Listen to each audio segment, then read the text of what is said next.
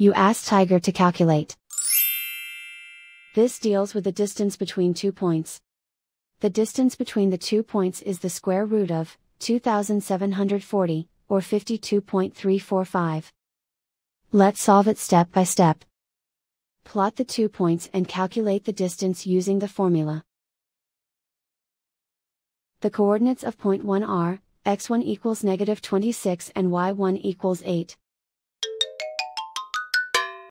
The coordinates of point 2 are, x2 equals 10 and y2 equals negative 30. d is the distance between the two points.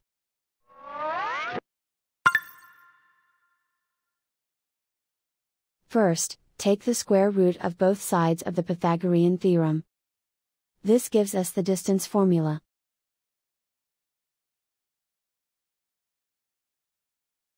Plug the coordinates of the points into the formula. x1 equals negative 26.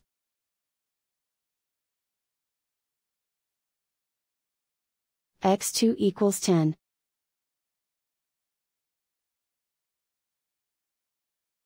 y1 equals 8.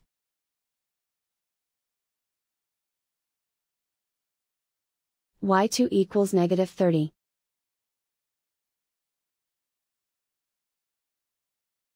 Calculate the expression inside the parentheses.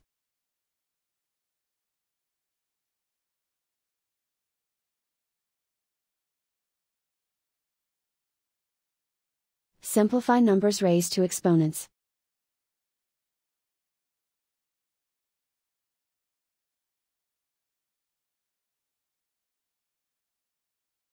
Simplify the arithmetic.